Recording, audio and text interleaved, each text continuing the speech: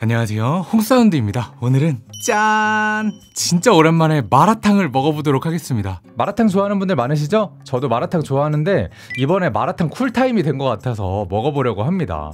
지난번에 마라엽떡을 먹을 때 채소가 없어서 아쉬웠잖아요. 그래서 오늘은 그때 한을 풀기 위해 먹고 싶은 거 듬뿍듬뿍 다 담아봤습니다. 그래서 기본이 만원부터 시작이었는데 다 담고 나니까 28,000원이 되어 있더라고요. 어 그래서 어, 너무 맛있을 것 같지 않나요? 벌써 행복합니다. 그리고 오늘 처음 먹어보는 곳에서 주문을 해봤는데 빨간 비주얼로 화끈하게 먹고 싶어서 엄청 매운맛으로 주문을 했습니다. 이 정도면 보기만 해도 침이 추룩추룩 나오지 않나요? 과연 맛은 어떨지 먹어보고 말씀드릴게요. 아 혹시 더 빨간 비주얼로 잘 살려주는 마라탕집이 있다면 댓글로 추천 부탁드립니다. 뭐 청주에 있는 곳이면 더 좋고요. 그리고 마라탕 하면 꼭 먹어줘야 되는 꺼바로우도 당연히 준비를 했습니다. 그런데 어, 이거 좀 너무한 거 아닌가요? 이거 다섯 조각에 만 원이라니. 심지어 비주얼도 지난번 마라엽떡 먹을 때 시켜 먹었던 그 꺼바로우랑 엄청 비슷하게 생긴 것 같기도 하고. 근데 엽떡은 다섯 조각에 5,900원이었으니까 이게 만약 같은 제품이면 엽떡이 해자 브랜드가 되는 거 아닌가? 어, 야 일단은 한번 먹어보고 어떤지 말씀드려 보도록 하겠습니다. 그러면 얼른 먹어보죠. 꿔바로우 먼저.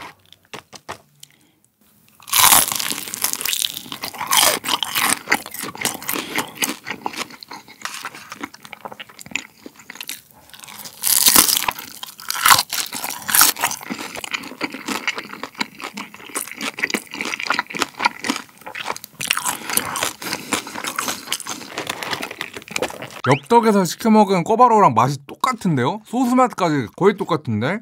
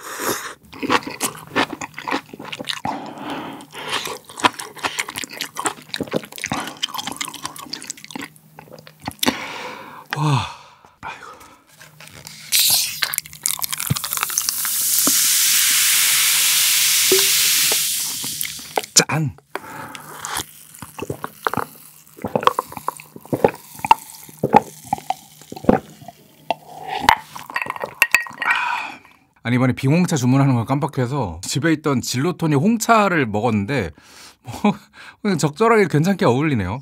홍차가 중요했나 보다.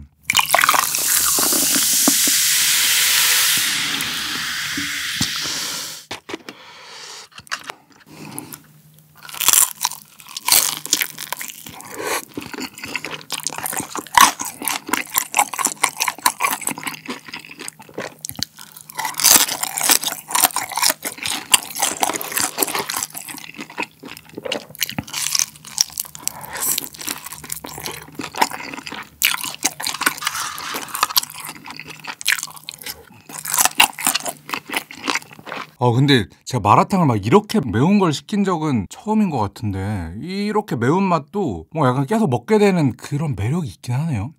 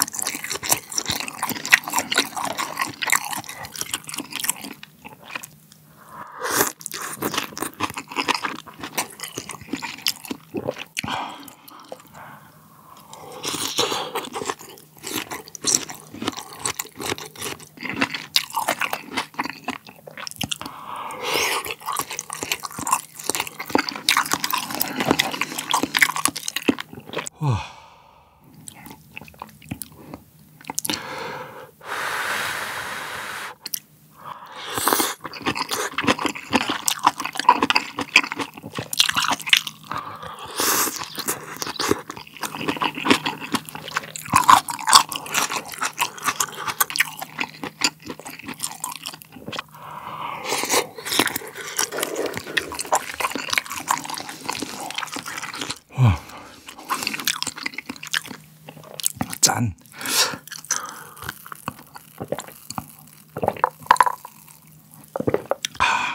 와, 맛있다. 맛있는데요. 마라 맛을 제가 되게 강한 걸 즐긴다고 생각했는데, 야, 이렇게 맵고 이렇게 얼얼하니까 힘드네요. 근데 약간 엽떡 매운맛 먹을 때 약간 그런 느낌이 들어요. 약간, 아, 아, 아. 한데 이제 계속 손은 약간 계속 다음 걸 짚고 있는 약간 이런 느낌?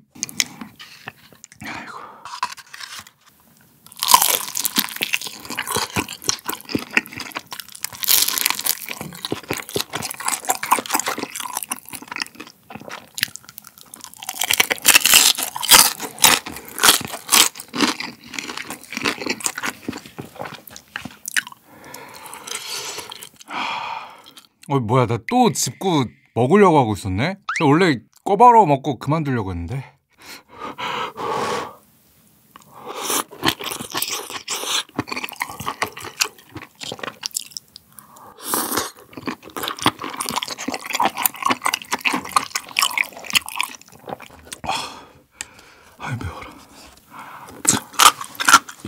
어.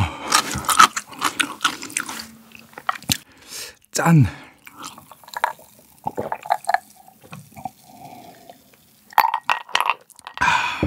아이고 잘 먹었습니다. 아 오늘 마라탕 엄청 매운맛 주문해서 먹어봤는데요. 맛있습니다. 근데 야 힘들다. 야 얼굴 봐 이거 저 울진 않았거든요. 근데 약간 어, 그런 눈빛인가? 어. 아니 근데 맵기로만 따지면 엽떡 매운맛이 더 매운 것 같거든요. 근데 이제 엽떡 매운맛은 매운 감각만 계속 느껴지는데 얘는 매운데 그 얼얼한 게 계속 막 그냥 입안을 그냥 얼얼얼얼 하면서 추가 공격을 하고 계속 뜨거 먹어도 먹어도 식질 않네 그래가지고 매운맛에 이제 얼얼얼얼 하면서 뜨뜨뜨뜨 이렇게 해가지고 좀 힘들었지만 에이, 그래도 맛있었습니다 제가 고수를 좋아해가지고 고수를 추가를 해봤는데 어, 고수가 들어간 마라탕도 오, 또 새로운 매력이 있네요 네, 그래서 오늘 먹었던 곳이 꿔바로우는 좀 가격 대비 좀 많이 아쉽긴 했는데요. 마라탕은 괜찮게 먹은 것 같습니다. 오늘 영상도 맛있고 재밌게 보셨다면 좋아요와 구독, 알림 설정 부탁드립니다. 그러면 오늘은 여기까지. 안녕. 마라탕을 먹을 땐 꿔바로 우를 함께 시켜야 행복해. 하지만 프랜차이즈의 꿔바로우는 고민 좀 해봐야겠네.